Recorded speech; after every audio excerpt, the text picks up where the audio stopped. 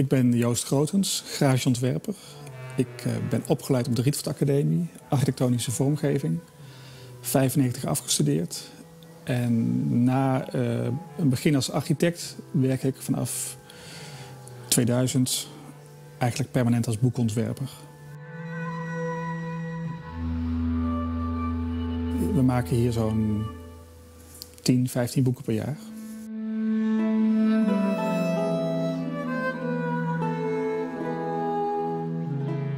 Wat ik aan atlassen interessant vind, is dat het een soort dubbel boek is. Het is aan de ene kant is het gewoon een soort droge informatie. Uh, lijsten, kaarten, gewoon heel droog. Maar tegelijkertijd kun je het op zo'n manier, als je het op de juiste manier presenteert, kan het ook een manifest zijn.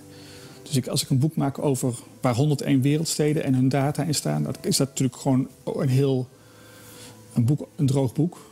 Maar tegelijkertijd is het ook een manifest over wat is nu eigenlijk een stad? Wat is de stad nu?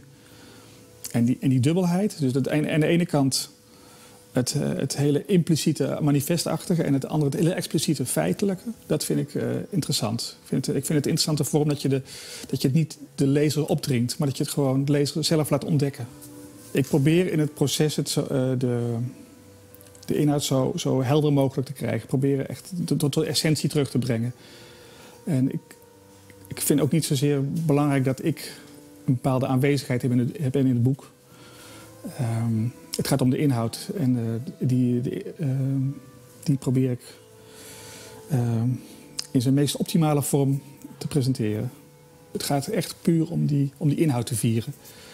Bijvoorbeeld Phoenix Atlas, een boek waarin dezelfde ingrediënten te zien zijn. Als in het, je hebt luchtfoto's, gaat luchtfoto's over het, hoe het gebied was in 1996. En hier heb je kaarten. En die kaarten tonen wat die wijk uiteindelijk gaat worden. Uh, dus je kunt zien hoe, of die stedenbouwkundige aanleidingen hebben gevonden in het landschap... of hoe ze bepaalde dingen gebruikt hebben in, in, in het toekomstige wijk. En het gaat eigenlijk zo... 50 wijken lang wordt het zo gedaan. Nou, naast die, uh, die kaarten is ook een, een, tekst en er is ook data... Die data heb ik op dezelfde manier uh, opgelost, of in de lijn opgelost van de, van de Metropolitan World Atlas.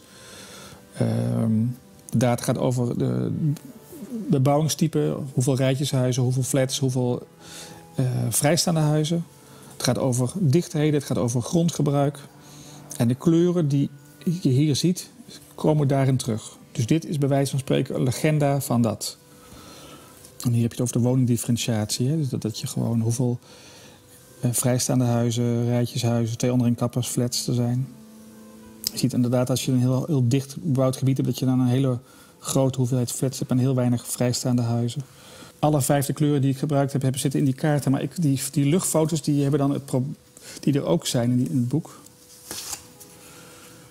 Die, uh, die hebben dan het gevaar dat ze helemaal te flats worden. Dus ik heb die, deze in tritoon gedrukt. Dus ik heb ook uh, een beige en een blauw uit, uit het palet van de kaarten heb ik ook gebruikt voor deze. Dat deze een hele bijzondere aanwezigheid hebben. Een heel sterke aanwezigheid. Zodat ze het nooit verliezen van de, van de kaarten. Dutch Design heeft een soort naam recalcitrante, recalcitrante zijn. En uh, alsof op iedere vraag een, een tegengesteld antwoord moet, uh, gegeven moet worden. Dus uh, wordt, je wordt gevraagd om als grafisch ontwerper een boek te maken over kleur weet je wat, ik maak een boek kleur, ik doe het tegenovergestelde, ik maak een boek in zwart-wit. Dat lijkt gewoon heel altijd uh, Dutch design te zijn. Van uh, recalcitrantie ten koste van alles, ten koste van de inhoud soms. Ik geloof daar niet in. Ik ben niet zo. Ik, ik geloof dat je recalcitrant kan zijn op een heel andere manier dan, dan, dan, dan dat. Veel subtieler. Ik vind ook niet dat het, dat het, zeker bij boeken, wat heel erg over de boodschap, over de inhoud gaat, dat je daar als ontwerper zo heel erg aanwezig moet zijn.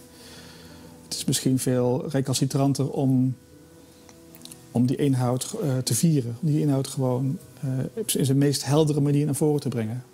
Zo helder dat het pijn doet. Toch een recalcitrant dus. Ja. Jij blijft Nederlander.